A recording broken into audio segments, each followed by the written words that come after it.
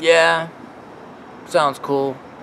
I just don't know if I could live on a fixed income.